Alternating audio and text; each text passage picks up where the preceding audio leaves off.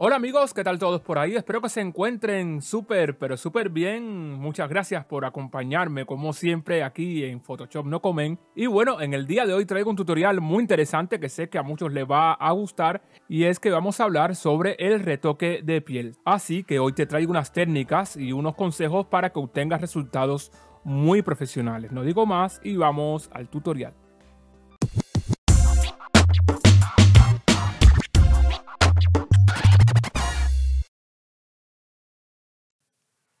Bueno amigos, ya estamos aquí. Como pueden ver, ya tengo la imagen que voy a utilizar para este tutorial.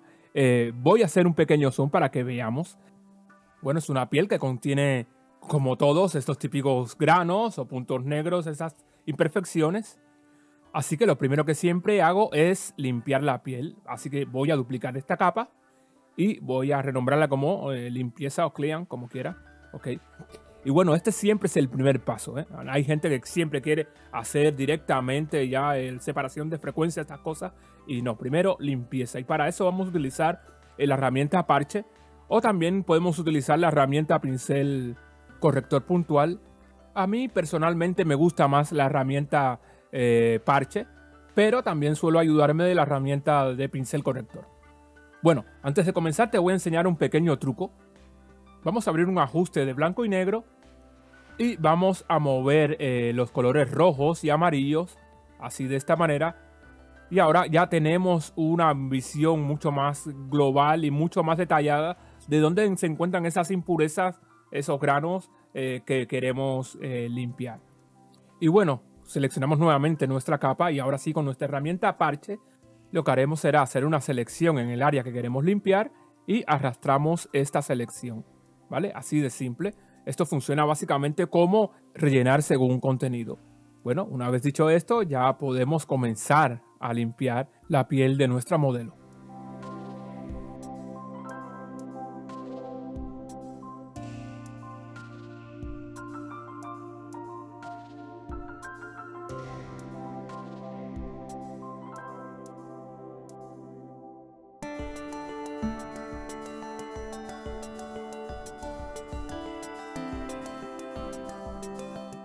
Y bueno, ya hemos terminado y como podemos ver esta limpieza ayuda mucho y realmente nos facilita el trabajo para los siguientes ajustes que apliquemos a la piel.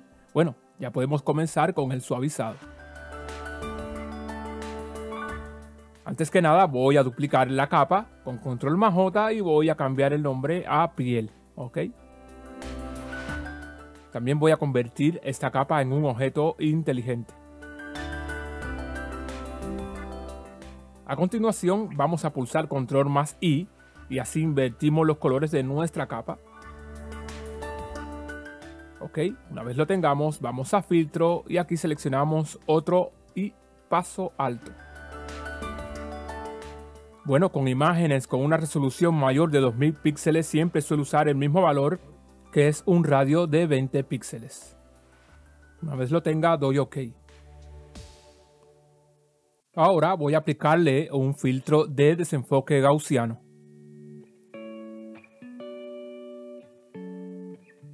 Como decía antes, siempre uso el mismo valor y en este caso utilizo un valor de 5 píxeles.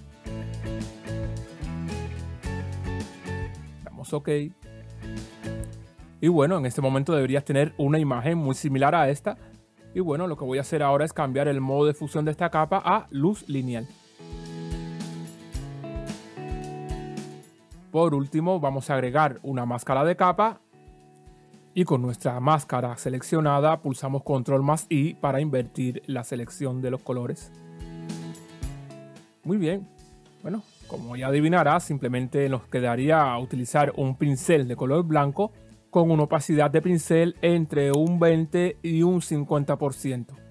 Para las zonas donde haya más detalles utilizaremos la opacidad más baja y donde queremos que la piel sea mucho más suave, utilizaremos una opacidad alta. Ya podemos comenzar.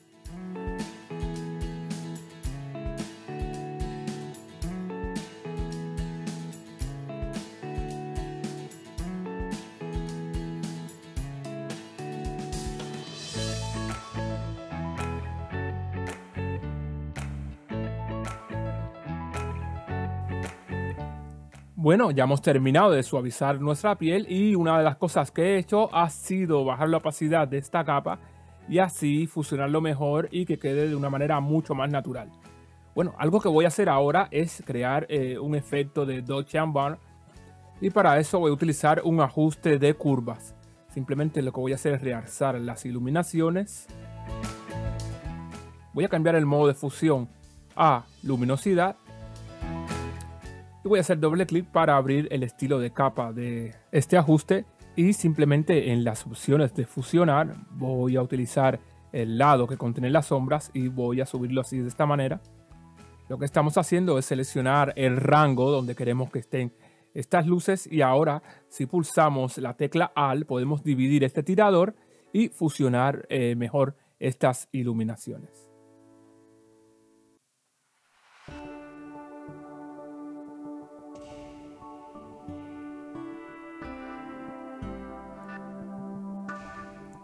Bueno, una vez hayamos terminado, podemos reajustar nuestra curva y también eh, lo que vamos a hacer es invertir la máscara de capa pulsando control más I y con un pincel de color blanco vamos a pintar en las zonas donde queremos eh, que estén estas iluminaciones.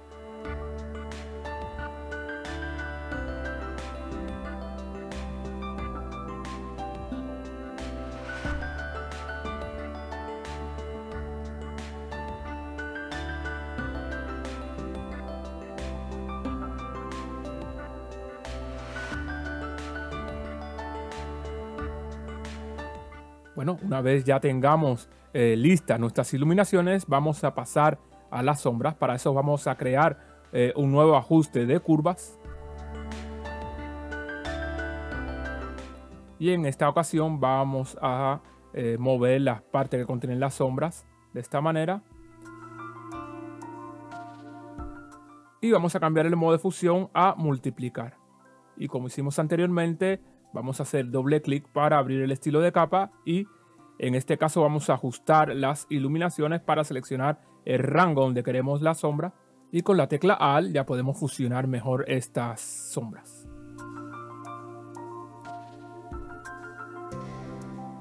Bueno, como hicimos anteriormente, vamos a invertir los colores de la máscara de capa y con un pincel de color blanco vamos a pintar eh, donde queremos eh, estas sombras.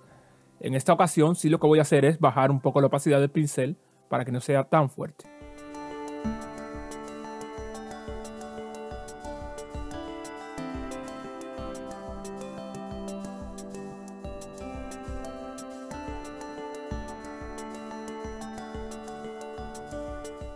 Bueno, una vez lo tengamos, algo que podemos hacer también es bajar la opacidad de esta capa y así no queda una sombra tan tan intensa.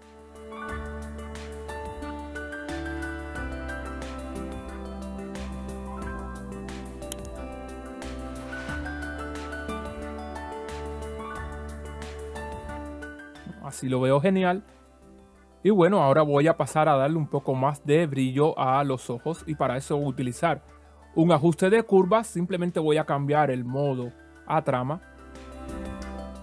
Voy a invertir la máscara de capa. Y bueno, ahora con un pincel de color blanco voy a empezar a pintar las zonas de color eh, blanco del ojo.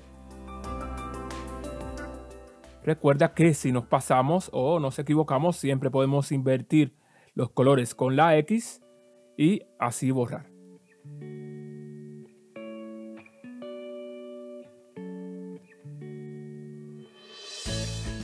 Bueno, una vez lo tengamos, ahora podemos bajar un poco la opacidad ya que es muy muy intenso.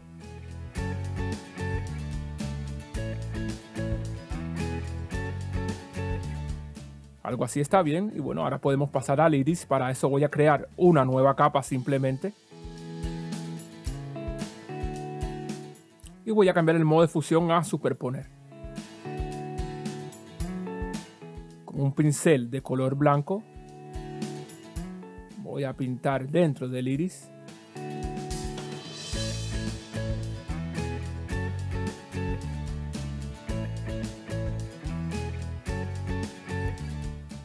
Bajamos la opacidad de esta capa hasta que encontremos eh, la opacidad ideal para nuestra imagen. Bueno, ya casi estamos terminando y ahora lo que quiero hacer es agregarle un poco de contraste general. Para eso voy a crear un ajuste de niveles y voy a seleccionar la máscara de capa. Vamos a ir a imagen.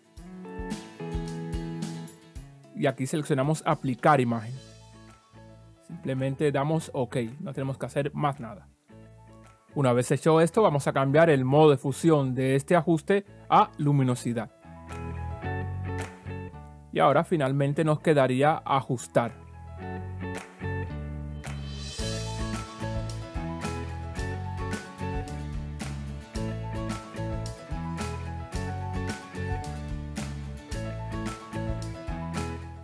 Como siempre digo, me gusta tenerlo todo bien ordenado, así que voy a seleccionar todas mis capas y voy a agruparlas con control más Para terminar, algo que podemos hacer es darle un poco más de enfoque a nuestra imagen y para eso voy a unir todas las capas visibles con control mayúscula más al más E y simplemente voy a usar un filtro de enfoque, ¿ok?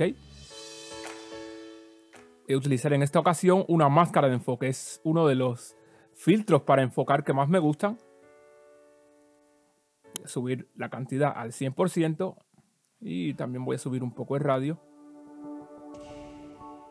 He visto muchos tutoriales donde te quieren explicar 300 técnicas eh, para enfocar cuando realmente con esos filtros se puede hacer muy, pero que muy bien.